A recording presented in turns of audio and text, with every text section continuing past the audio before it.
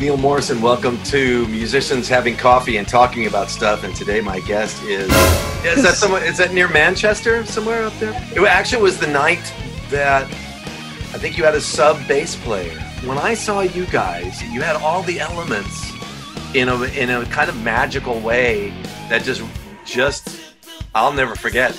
So afterwards we went backstage and I think we didn't meet you, but I saw you just kind of eating a bunch of like really healthy looking food.